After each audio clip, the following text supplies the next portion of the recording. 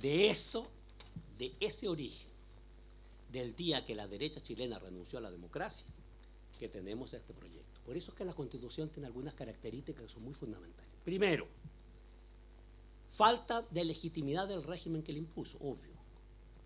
Una dictadura militar, una de las dictaduras más sangrientas de la segunda mitad del siglo XX en el mundo. No es un dato menor. Sin ningún control del proceso, con personas nombradas a dedo por Pinochet, sin consulta con nadie. Desde luego, los que integraron esa constitución respondían a las utilidades de Pinochet, que son los ideales que se habían formado desde el año 66 en el Partido Nacional. Se invitó a tres demócratas,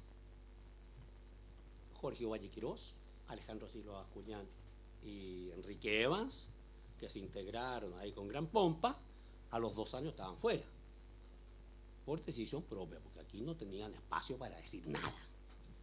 Todo lo que proponían era rechazado. Entre todas las cosas que proponían también era el término rápido de la dictadura, después de haber sido colaboracionistas, claro. Es una constitución perpetua, porque las formas que tiene para ser modificada impiden una real modificación de fondo. La constitución del año 25 era calificada por los constitucionalistas, y yo no lo soy, como una constitución semirrígida. Pero semirrígida o no, permitió una serie de avances sociales muy importantes entre el periodo que se editó, entre 1925 y 1973.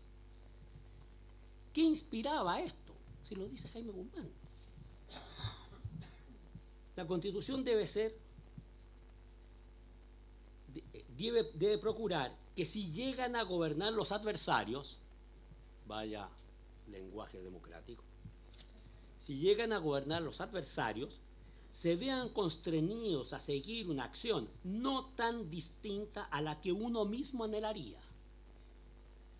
Porque el margen de alternativas que la cancha imponga de hecho a quienes juegan en ella sea lo suficientemente reducido para hacer extremadamente difícil lo contrario. Esto es lo que yo llamaría el síndrome de la concertación. Como no podemos avanzar, porque nos tenemos prohibido por la constitución de Pinochet, estamos limitados, acomodemos no. Fue lo que pasó. Se ha ido produciendo el acomodo, seguimos con la constitución que nos dejó la dictadura, constitución que claramente no, es decir, vulnera, vulnera el derecho humano que tiene más reconocimiento internacional, que es el derecho humano de los pueblos a su libre determinación. Artículo primero del Pacto Internacional de Derechos Civiles y Políticos, artículo primero del Pacto Internacional de Derechos Económicos, Sociales y Culturales. Es, el pueblo es visto con esa mentalidad fascista un eventual, eventual enemigo. Hay que estarse defendiendo del pueblo. Ese es el mensaje de la Constitución del año 80. Alternativas. Yo no pensaba hablar de esto, pero Andrés antes de entrar me pidió que lo hablara. El movimiento que comenzamos a formar el año 2006, eh, con Gustavo Ruz, que está aquí, de eh, por una asamblea constituyente con la idea de marcar el voto. Dado que la ley chilena dice textualmente lo siguiente, comillas, son válidas todas las cédulas que contengan más de una preferencia. Punto. Cierre comillas. Es decir, toda cédula que tenga una sola preferencia es válida. Y por eso es que el director del registro civil, del registro electoral, nos dijo, eh, eh, dice cada vez, y esto se está repitiendo desde el año 58,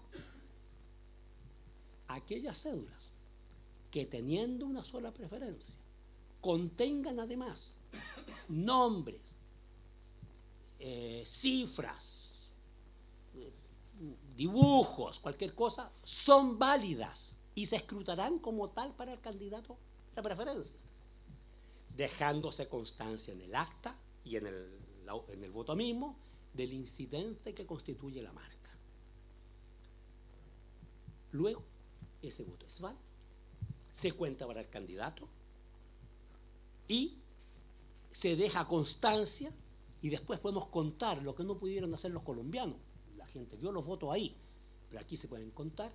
En la mesa 32 del lugar no sé cuánto de mujeres salieron 29 papeletas con la marca Asamblea Constituyente.